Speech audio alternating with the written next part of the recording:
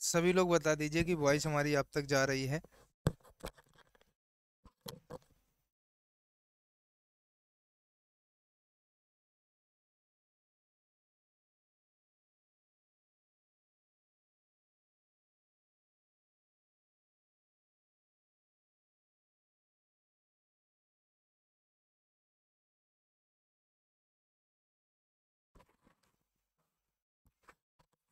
बताइए भाई सभी लोग बता दीजिए एक बार सब कुछ क्लियर है तो फिर क्लास को स्टार्ट किया जाए।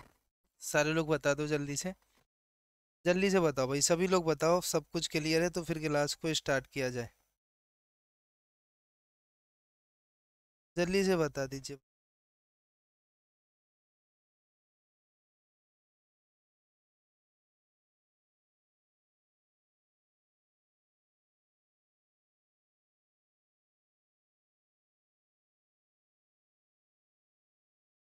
चलिए भाई तो फिर क्लास को करते हैं स्टार्ट सभी लोग देखेंगे। क्लास आपकी क्या है? सारे लोग देखिएगा, है ना? सबसे पहला प्रश्न जो आपके सामने दिया गया है, सारे लोग देखिएगा, प्रश्न क्या है? सभी लोग देखेंगे कि आयताकार खेत की लंबाई और चौड़ाई क्रमशः 40 मीटर और 30 मीटर है। आयताकार खेत का क्षेत्रफल कितना होगा, आपको ये बताना है, जो भी क्षेत्रफल रहे सभी लोग बता दीजिए। जल्दी से बताइए, क्वेश्चन आपके सामने एक आयताकार। खेत की लंबाई और चौड़ाई क्रमशः 40 मीटर और 30 मीटर है। आयताकार खेत का क्षेत्रफल कितना होगा, आपको ये बताना है। जो भी क्षेत्रफल हो, सभी लोग बता दीजिए, आंसर कितना रहेगा। बताइए। सभी लोग बता दीजिए, एक आयताकार खेत की लंबाई और चौड़ाई क्रमशः 40 मीटर और 30 मीटर है। आयताकार खेत का क्षेत्रफल कितना होगा, सारे लोग बता देंगे। जितना भी क्षेत्रफल रहे, सभी लोग बता दीजिए। सभी लोग बताइए। भाई टाइमिंग चेंज नहीं हुई, पता नहीं आज क्लास लेट तक चलती रही थी सर की। इसलिए आपकी क्लास इतने बजे से हो रही है। आज सर की क्लास लेट तक चलती रही। एक आयताकार खेत की लंबाई और चौड़ाई क्रमशः आपको 40 मीटर और 30 मीटर दी गई है। आयताकार खेत का क्षेत्रफल कितना होगा, आप सभी लोग ये बता दीजिए, जितना भी क्षेत्रफल रहे, आप सभी लोग आंसर को कर देंगे। बताइए भाई। सभी लोग बताइए, आयताकार खेत का क्षेत्रफल कितना रहेगा? जल्दी से बताओ भाई, सभी लोग आंसर कितना रहेगा? 1200 कोई 120 बता रहा है, कोई 1200 बता रहा है। बताइए, देखो भाई, आपको सबसे पहले तो हम बता दें। यहाँ पर आयताकार खेत की लंबाई आपको दे दी गई, चौड़ाई दी गई। आयत का अगर हम क्षेत्रफल की बात करें कि आयत का क्षेत्रफल होता कितना है, सबसे पहले तो आपको ये पता होना चाहिए, आयत का क्षेत्रफल होता कितना है? अगर आपसे हम ये बात कहें तो भैया लंबाई गुणे चौड़ाई होता है, कितना होता है? लंबाई गुणे चौड़ाई होता है आयत का क्षेत्रफल। अगर लंबाई गुणे चौड़ाई आयत का क्षेत्रफल होता है तो लंबाई भैया कितनी है? आप बताइए, चालीस मीटर है। चौड़ाई कितनी है? तीस मीटर है। तो भैया बहुत सिंपल सा ये प्रश्न था चातीय बारह बारह सौ वर्ग मीटर आपका आंसर आ जाता। कितना आता? बारह सौ वर्ग मीटर आपका आंसर आ जाता। बताओ, अगर किसी को कोई दिक्कत हुई हो। क्योंकि बहुत सिंपल सा ये प्रश्न था। आप आसानी से निकाल सकते थे। आयत का क्षेत्रफल आपसे पूछा जा रहा है, लंबाई गुणे चौड़ाई आपका फार्मूला होता है। चालीस गुणे तीस आपको कर देना था, चार तीयो बारह, आपका बारह सौ वर्ग मीटर आंसर। आ जाता, किसी को भी कोई दिक्कत नहीं होती, बारह सौ वर्ग मीटर आंसर को निकालने में, क्योंकि सीधा सा फार्मूला होता है, लंबाई गुणे चौड़ाई, है ना? हर कोई फार्मूला भी जानता है। चलिए, प्रश्न संख्या अगर हम दो की बात करें, दो पर चलें तो आपका प्रश्न क्या है? किसी आयत का परिमाप छप्पन सेंटीमीटर और लंबाई पंद्रह सेंटीमीटर है। आयत का क्षेत्रफल क्या होगा? आपसे अगर क्षेत्रफल पूछा जाए कि भैया आयत का क्षेत्रफल कितना होगा? आपको आयत का सर परिमाप दे दिया गया छप्पन सेंटीमीटर। और लंबाई आपसे कही जा रही है कि पंद्रह सेंटीमीटर है। आपसे पूछा जा रहा है कि आयत का क्षेत्रफल क्या होगा? सारे लोग बता दीजिए। आयत का क्षेत्रफल कितना होगा, बताइए। ब्लैक मार्कर लीजिए। भाई, इससे सही नहीं दिखता क्या लो भाई, ऐसा ले लेंगे, इससे सही दिखेगा ना? है ना? चलिए बताइए। किसी आयत का परिमाप छप्पन सेंटीमीटर है और लंबाई पंद्रह सेंटीमीटर है तो आयत का क्षेत्रफल क्या रहेगा? अब आपको परिमाप दिया गया है और लंबाई दी गई। सबसे पहले तो एक आपके सामने समस्या ये है कि आप चौड़ाई निकालिए, है ना? हाँ भाई, मैथ की क्लास ही है। बताइए। आंसर बताइए, सभी लोग आंसर कितना आएगा? बहुत सिंपल सा प्रश्न है। क्वेश्चन था, किसी आयत का परिमाप छप्पन सेंटीमीटर और लंबाई पंद्रह सेंटीमीटर है तो आयत का क्षेत्रफल क्या होगा? आप सभी को क्षेत्रफल बताना है कि आयत का क्षेत्रफल कितना रहेगा। देखो भाई, बहुत सिंपल सा ये प्रश्न था, आप आसानी से इसको लगा सकते थे, बिल्कुल दिक्कत नहीं होनी चाहिए थी। कैसे? आप ये बताइए, सबसे पहले सर आयत का परिमाप होता क्या है? अगर हम आपसे पूछें, आयत का परिमाप। तो सर आयत का परिमाप होता कितना है? आयत का परिमाप होता है सर टू लंबाई धन चौड़ाई। कितना होता है? टू लंबाई धन चौड़ाई होता है। ठीक है? अब आपको परिमाप दिया कितना गया है भैया? छप्पन सेंटीमीटर दिया गया है। टू है, लंबाई कितनी है आपको? पंद्रह सेंटीमीटर दी गई है, प्लस आपकी चौड़ाई है। अब अगर आप दो से काटें तो भैया अट्ठाईस दूना छप्पन होता है, यानी आपका अट्ठाईस इक्वल टू पंद्रह प्लस बी आ जाएगा। तो बी बराबर कितना हो जाएगा? अट्ठाईस माइनस पंद्रह हो जाएगा, इक्वल टू आपका तेरह आ जाएगा। अब आपकी चौड़ाई तेरह आ गई, लंबाई पंद्रह है, आपसे क्षेत्रफल पूछ रहा है। तो भैया ये बताओ, अभी जस्ट हमने लिखा था आयत का क्षेत्रफल का फार्मूला। आयत का क्षेत्रफल होता है भैया लंबाई गुणे चौड़ाई। अब भैया लंबाई आपको कितनी दी गई? तो आप कहेंगे, सर, पंद्रह दी गई। चौड़ाई आपकी तेरह है। तो भैया आप बताइए, जब तेरह है तो पंद्रह तेरह का मल्टीप्लाई करिए। पंद्रह दशामन डेढ़ सौ और पंद्रह तिया पैंतालीस। एक सौ पचानवे वर्ग सेंटीमीटर आपका आंसर आ जाएगा। जिसका भी एक सौ पचानवे वर्ग सेंटीमीटर आया है, उसका बिल्कुल सही है। आंसर कितना आएगा? एक सौ पचानवे वर्ग सेंटीमीटर आ जाएगा। बताओ अगर किसी को भी कोई दिक्कत हो तो बता दीजिए। हर किसी का भाई आंसर आ गया होगा एक सौ पचानवे वर्ग सेंटीमीटर। चलिए भाई, अगले प्रश्न पे चलते हैं। अगला प्रश्न क्या है, सभी लोग देखिएगा। किसी वर्ग की भुजा पचपन मीटर है तो वर्ग का क्षेत्रफल क्या होगा? एक वर्ग की भुजा आपको दी गई है पचपन मीटर। और आपसे कह रहा है, अगर वर्ग की भुजा पचपन मीटर है तो वर्ग का क्षेत्रफल कितना होगा? आप सभी को क्षेत्रफल बताना है। सारे लोग बता दीजिए सर वर्ग का क्षेत्रफल क्या रहेगा? बताओ। सभी लोग बताओ वर्ग का क्षेत्रफल क्या रहेगा? जल्दी से बता दीजिए। जिसका भी जो भी आंसर आ जाए, सभी लोग बता दो वर्ग का क्षेत्रफल। बहुत सिंपल सा प्रश्न है। भैया, अगर आपको ये पता होगा कि वर्ग का क्षेत्रफल होता क्या है? तो आप आंसर आसानी से निकाल पाएँगे, आपको बिल्कुल भी दिक्कत नहीं होगी, अगर आपको वर्ग का क्षेत्रफल पता होगा तो। और अगर नहीं पता होगा तो फिर आपको निकालने में आंसर दिक्कत आएगी, है ना? तो सबसे पहले तो आप लोगों को वर्ग का क्षेत्रफल पता होना चाहिए कि वर्ग का क्षेत्रफल क्या होता है। देखो, आपको बता दें, सर, वर्ग का क्षेत्रफल होता है भुजा वर्ग। वर्ग का क्षेत्रफल क्या होता है? सर, भुजा वर्ग होता है।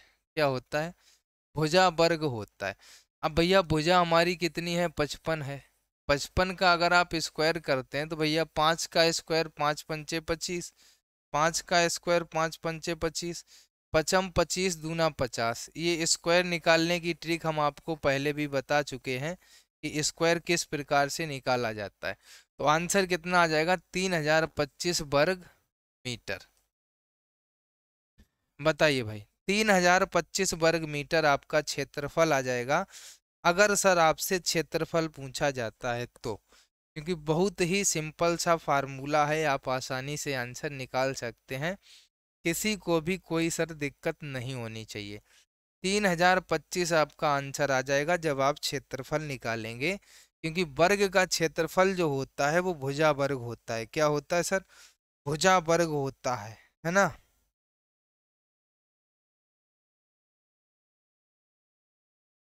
बताइए भाई। चलिए सर, आगे चलते हैं। नेक्स्ट प्रश्न पर। अगला प्रश्न क्या दिया गया है, सभी लोग देखिएगा। प्रश्न है, किसी वर्ग का क्षेत्रफल तीन सौ इकसठ वर्ग मीटर है तो उस वर्ग के विकर्ण की माप क्या होगी, आपको ये बताना है। कोई वर्ग है, जिस वर्ग का क्षेत्रफल तीन सौ इकसठ वर्ग मीटर है तो उस वर्ग के विकर्ण की माप क्या होगी? आपको एक वर्ग का क्षेत्रफल दिया गया है। सर, जब क्षेत्रफल दिया जाए आपको तो आप किस फार्मूले से आप इसकी वैल्यू निकालेंगे?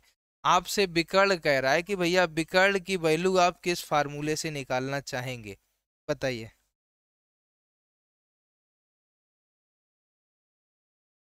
भैया ये जो क्वेश्चन आपको बताए जा रहे हैं, आपके पेपर में पहले पूछे जा चुके हैं, वो प्रश्न आपको बताए जा रहे हैं।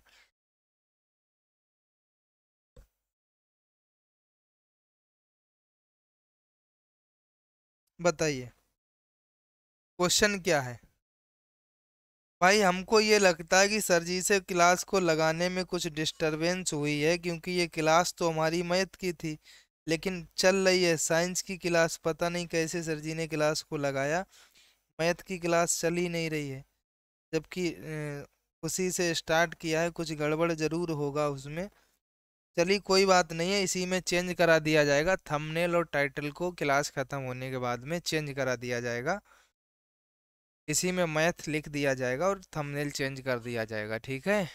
किसी वर्ग का क्षेत्रफल तीन सौ इकसठ वर्ग मीटर है तो उस वर्ग के विकर्ण की माप क्या होगी, आप लोग ये बता दीजिए। हमने भी पहले नहीं देखा। लाइव दिख रहा था, चैनल पे हमने क्लिक कर दिया, डायरेक्टली चालू हो गई, हमें पता भी नहीं है। अभी आपने बताया, तब हमने देखा। बताइए भाई। सभी लोग इसका आंसर बता दीजिए, किसी वर्ग का क्षेत्रफल तीन सौ इकसठ वर्ग मीटर है तो उस वर्ग के विकर्ण की माप क्या होगी, सारे लोग बताइएगा कि वर्ग के विकर्ण की माप क्या रहने वाली। सभी लोग अपना अपना आंसर कर देंगे, जिसका भी जितना आंसर आ रहा हो अपना अपना आंसर बता दीजिए। बताइए भाई, बहुत सिंपल सा प्रश्न है, आप आसानी से निकाल सकते हैं इसका आंसर। देखो भाई, किसी वर्ग का क्षेत्रफल जब आपको तीन सौ इकसठ वर्ग मीटर दिया जाए, आप सभी को पता है कि वर्ग का क्षेत्रफल होता क्या है? वर्ग का क्षेत्रफल इज़ इक्वल टू होता है भुजा वर्ग। यही तो फार्मूला होता है। तो सर, क्षेत्रफल कितना है? तीन सौ इकसठ है इक्वल टू आपका भुजा वर्ग है। ठीक है? अब भैया भुजा इक्वल टू फिर आपका कितना आ जाएगा? तीन सौ इकसठ कितने का होता है? आप ये बता दीजिए, अगर हम इसका रूट निकालें तो ये उन्नीस का होता है, यानी कि उन्नीस आ जाएगा। ठीक है? अब आपसे विकर्ण की माप पूछी जा रही है तो भैया वर्ग का विकर्ण क्या होता है? वर्ग का विकर्ण क्या होता है? विकर्ण होता है ए रूट टू यानी भुजा रूट टू भुजा आपकी उन्नीस है रूट टू आपका दिया रहता है फार्मूले में। तो आपका कितना आ जाएगा? उन्नीस रूट टू आ जाएगा। उन्नीस तीन बटे चार कैसे आएगा भाई? आप ये बताइए। इसका विकर्ण जो होता है वर्ग का, वो ए रूट टू होता है। अब ए आपकी भुजा कितनी आ गई? उन्नीस आ गई। भैया, आप यहाँ पर कितना कर देंगे? उन्नीस रूट टू कर देंगे। बताओ अगर कोई दिक्कत हो, कितना कर देंगे? उन्नीस रूट टू कर देंगे। आप बताइए अगर किसी को कोई दिक्कत हो। कितना कर देंगे, उन्नीस रूट टू कर देंगे आप। चलिए भाई, अगला प्रश्न क्या दिया गया है, सारे लोग देखिए और आंसर बताइए। एक त्रिभुज का आधार 18 सेंटीमीटर और आधार से उसकी ऊंचाई 10 सेंटीमीटर है। त्रिभुज का क्षेत्रफल क्या होगा, आपको ये बताना है। सभी लोग बता दीजिए भाई, त्रिभुज का क्षेत्रफल क्या होगा? क्वेश्चन आपके सामने है कि त्रिभुज का आधार जो है वो 18 सेंटीमीटर और आधार से उसकी ऊंचाई 10 सेंटीमीटर है। तो त्रिभुज का क्षेत्रफल क्या रहेगा, सारे लोग बता देंगे। आंसर जो भी आपका रहे, सभी लोग आंसर बता दीजिए। बताइए भाई, कितना आंसर रहने वाला है? एक त्रिभुज का आधार 18 सेंटीमीटर और आधार से उसकी ऊंचाई जो है वो 10 सेंटीमीटर दी गई है। आपसे सर, त्रिभुज का क्षेत्रफल पूछा जा रहा है। सारे लोग त्रिभुज का क्षेत्रफल बता दीजिए जिसका भी जितना आ जाए।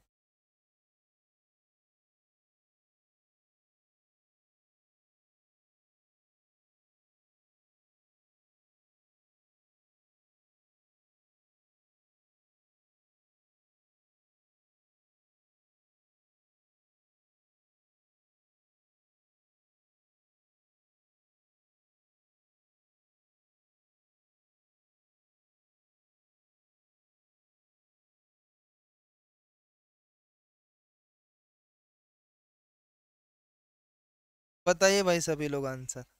आंसर बता दीजिए, किसी का 180 आ रहा है, किसी का 90 देखो भाई, आप ये बताइए, किसी भी त्रिभुज का जब आप क्षेत्रफल निकालते हो, त्रिभुज का क्षेत्रफल इज़ इक्वल टू फार्मूला होता है एक बट्टे दो गुणे आधार गुणे ऊंचाई। आधार गुणे ऊंचाई। अब आप ये बताइए, सर, त्रिभुज का क्षेत्रफल निकालना है तो एक बट्टे दो, आधार अठारह है, ऊंचाई दस है। सर दो से काटेंगे तो दो पंचे दस हो जाएगा। आएगा कितना? अट्ठारह गुणे पाँच आएगा। अठारह पंचे कितना आ जाएगा? नब्बे आ जाएगा। आंसर कितना आ जाएगा सर? नब्बे आ जाएगा।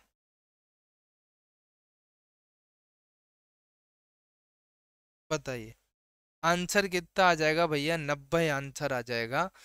जब आप एक त्रिभुज का आधार 18 सेंटीमीटर दिया रहे और आधार से उसकी ऊंचाई 10 सेंटीमीटर दी रहे त्रिभुज का आपसे क्षेत्रफल पूछा जाए कि क्षेत्रफल क्या रहेगा तो आप आंसर कितना कर देंगे? नब्बे कर देंगे। बताइए किसी को कोई दिक्कत हुई हो?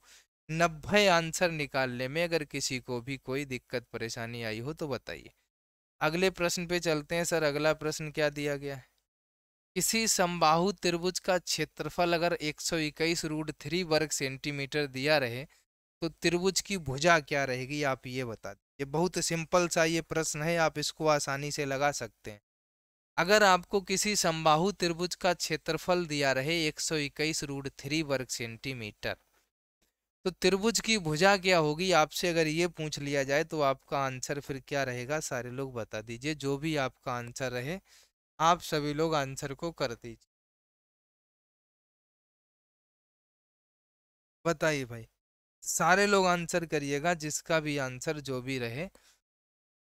किसी समबाहु त्रिभुज का क्षेत्रफल 121 रूट थ्री वर्ग सेंटीमीटर है तो त्रिभुज की भुजा क्या होगी, आप सभी लोग बताएँगे।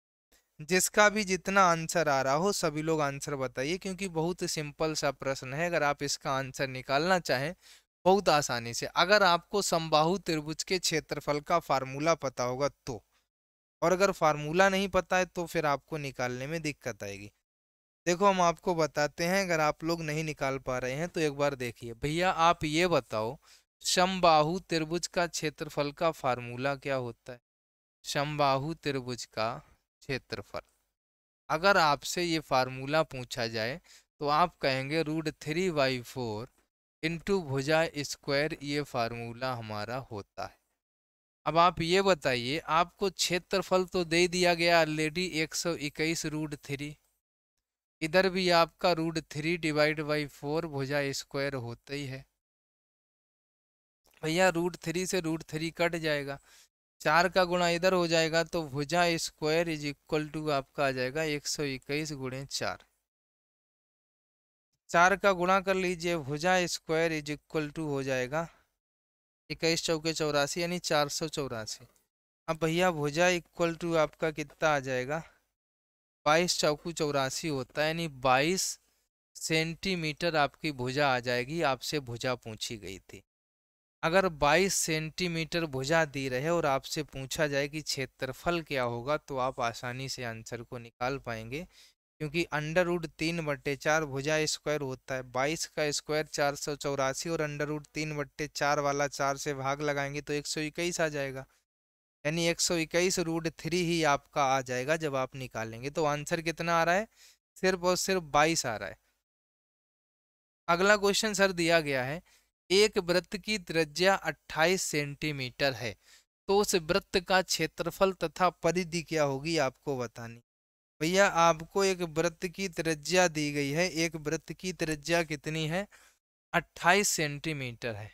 तो उस वृत्त का क्षेत्रफल तथा परिधि क्या होगी? आपको ये बताना है, क्षेत्रफल और परिधि। तो सभी लोग बता दीजिए, सर, क्षेत्रफल और परिधि क्या रहने वाली है? जब आपको एक वृत्त की त्रिज्या कितनी दे दी जाए? त्रिज्या की वैल्यू 28 है। आपसे पूछ क्या क्या रहा है? क्षेत्रफल पूछ रहा है और परिधि पूछ रहा है। तो जब आपको त्रिज्या 28 दी जाएगी, आपसे क्षेत्रफल और परिधि पूछेगा तो आप लोग बताइए भैया किस प्रकार से आंसर निकालेंगे। बहुत ही आसानी से आप आंसर निकाल सकते हैं। किसी को भी कोई दिक्कत ही नहीं होनी चाहिए, आराम से आंसर आ जाना चाहिए भाई सभी का। सभी का आराम से आंसर आ जाना चाहिए, किसी को भी कोई दिक्कत, परेशानी नहीं होनी चाहिए। देखो भाई, आप ये बताओ, जब आपको त्रिज्या अट्ठाईस दे दी जाए आर इक्वल टू आपका ट्वेंटी एट हो, और वृत्त का अगर हम क्षेत्रफल की बात करें, वृत्त का क्षेत्रफल होता है सर पाई आर स्क्वायर है ना? अब आप हमको ये बताइए, पाई की वैल्यू बाईस बट्टे सात है आर स्क्वायर इंटू अट्ठाईस इंटू अट्ठाईस कर देंगे। अगर आप इसको सात से डिवाइड करेंगे तो सर सात चौके अट्ठाईस चार बार गया। बाईस चौके आपका अट्ठासी होता है, अट्ठासी गुणे अट्ठाईस करेंगे। भैया जब अट्ठासी में अट्ठाईस का गुणा करेंगे तो कितना आएगा? अठवट्टे चौंसठ, चार छः अठवट्टे चौंसठ और छः सत्तर। दो से काटेंगे दुर्वट्ठ सोलह दुर्वट्ठ सोलह, एक, सत्रह। कितना आएगा? चार छः सात सात, चौदह की चार हासिल एक एक एक, दो। चौबीस सौ चौंसठ आपका आ जाएगा क्षेत्रफल। वर्ग सेंटीमीटर। अब आपसे कह रहा है कि उसकी परिधि भी ज्ञात करिए। भैया, अगर हम परिधि की बात करें तो व्रत की परिधि का फार्मूला क्या होता है? आपको व्रत की परिधि का भी फार्मूला पता होना चाहिए, जो कि होता है टू पाई आर। भैया, टू इंटू पाई की वैल्यू है बाईस बट्टे सात इंटू आर की वैल्यू है अट्ठाईस। सात से काटेंगे तो सात चौके अट्ठाईस होगा। चार दूनी आठ हो जाएगा, यानी बाईस गुणे आठ कर दीजिए, आठ दूनी सोलह की छः यहाँ से लेख। आठ दूनी सोलह, एक सत्रह, एक सौ छिहत्तर आपका आंसर आ जाएगा। बताओ, कोई दिक्कत हो? आंसर कितना आएगा? परिधि कितनी आ जाएगी सर? एक सौ छिहत्तर आ जाएगी। बताओ, अगर किसी को भी कोई दिक्कत हुई हो, परिधि को निकालने में। देखो, आपने क्षेत्रफल का फार्मूला लगाया था, पाई आर स्क्वायर। पाई की वैल्यू आपको दी गई थी 28 आपने पाई की, सॉरी, आर की वैल्यू 28 थी। पाई की वैल्यू बाईस बट्टे सात लिखा, आर की वैल्यू अट्ठाईस इंटू अट्ठाईस क्योंकि आर स्क्वायर था। अब हमने क्या किया? सात से काटा तो सात चौके अट्ठाईस चार आ गया। बाईस चाकू अट्ठासी कर दिया और एक ये अट्ठाईस बचा। अट्ठासी में अट्ठाईस का मल्टीप्लाई किया, चौबीस सौ चौंसठ आ गया, जो कि ये रहा आपका चौबीस सौ चौंसठ, है ना? फिर व्रत की परिधि की अगर हम बात करेंगे तो टू पाई आर होती है। टू इंटू पाई की वैल्यू बाईस बटे साठ इंटू आर की वैल्यू अट्ठाईस हो गई। सात से कट करेंगे, सात चौक अट्ठाईस किया। चार दूनी आठ किया, बाईस रहा। बाईस गुणे आठ किया, एक सौ छिहत्तर सेंटीमीटर आपकी क्या आ जाएगी? परिधि आ जाएगी। बताओ भाई, किसी को कोई दिक्कत हुई हो? अगला और आज का लास्ट प्रश्न है आपके सामने। है ना? किसी वृत्त का क्षेत्रफल चार सौ चौरासी वर्ग सेंटीमीटर है तो उस वृत्त की त्रिज्या क्या होगी? अब यहाँ पर आपको वृत्त का क्षेत्रफल दिया गया है, जो कि दिया गया है चार सौ चौरासी वर्ग सेंटीमीटर। उस वृत्त की त्रिज्या क्या होगी? आपसे त्रिज्या पूछी जा रही है, सारे लोग त्रिज्या बता दीजिए। इसका आंसर क्या रहेगा बताओ। उस वृत्त की त्रिज्या क्या रहेगी? एक बार आप सभी लोग बता दीजिए, जितना भी आंसर रहे।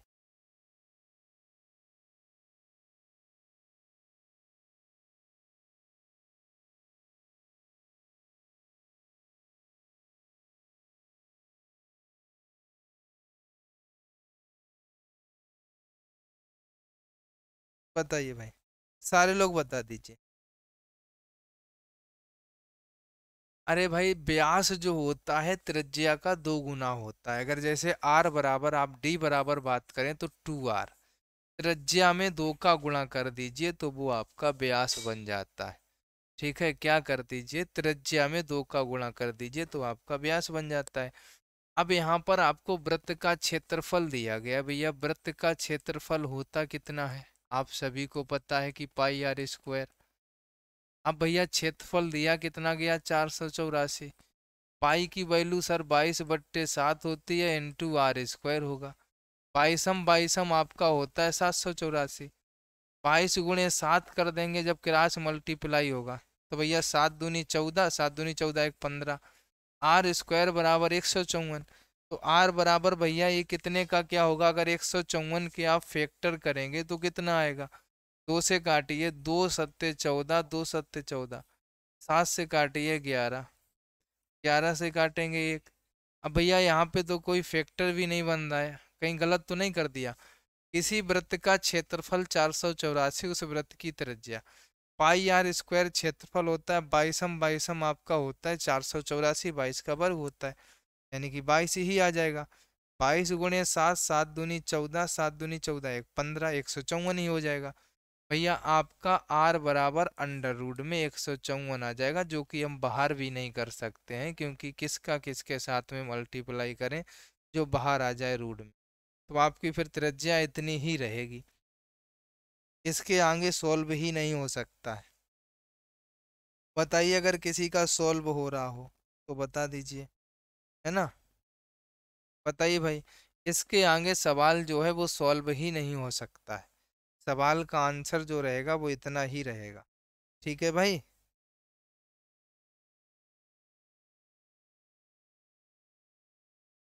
चलिए भाई तो आज की क्लास को यहीं पर ख़त्म करते हैं।